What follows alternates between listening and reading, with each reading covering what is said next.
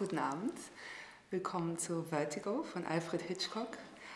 Ein Film über die Fesseln der Begierde, ausgetragen auf dem Schlachtfeld der Mode.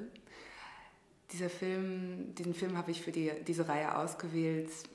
Einerseits, weil unbedingt ein Hitchcock-Film in der Reihe sein musste. Es gibt wohl kaum einen Regisseur, der ähm, sich so mit Begierde und eben auch Sehnsucht, Desire und den Terror, den das auslösen kann, beschäftigt hat, wie Alfred Hitchcock.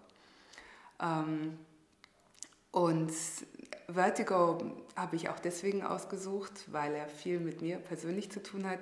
Sie sehen, ich trage das Vertigo-Kostüm von Kim Novak und wie es dazu gekommen ist, werde ich Ihnen auch gleich erzählen.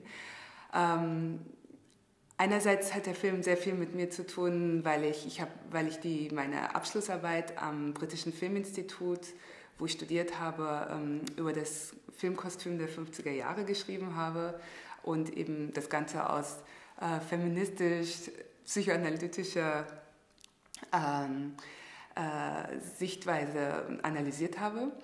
Äh, dann hat aber Vertigo auch sehr viel mit mir zu tun, äh, weil es eben nun, also ähm, Vertigo ist ja ein Film über das Pygmalion-Thema. Es ist ein Mann, der, der sich versucht, die perfekte Frau zu schaffen. Und in diesem Fall ist es ein Mann, der durch ein Trauma entmannt wurde und nun sich durch die Erniedrigung äh, der Frau äh, versucht, sich wieder zu ermannen.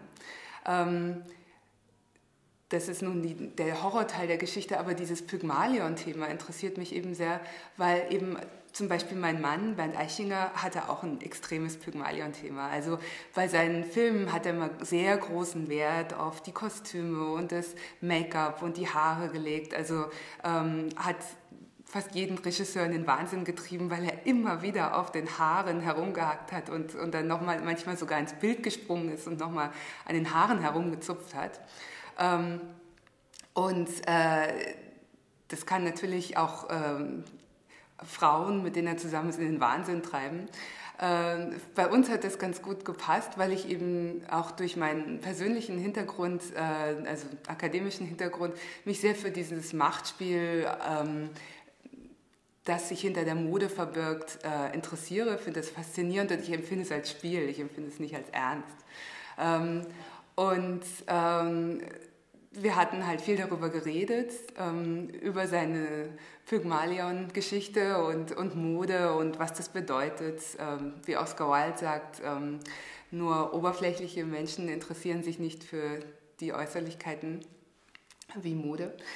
Ähm, gut, wir hatten uns dann irgendwann entschieden, äh, das war ein sehr großer Spaß, dass ich mir das äh, Vertigo-Kostüm nachschneidern lasse. Und das war eben dieser doppelte Rittberger der Pygmalion-Geschichte und dieses Machtspiels. Und hat, war sehr amüsant, hat sehr viel Spaß gemacht. Und ähm, wie äh, Woody Allen sagt, äh, eine Beziehung funktioniert dann, wenn sich die Neurosen und Fetische überkreuzen. viel Spaß.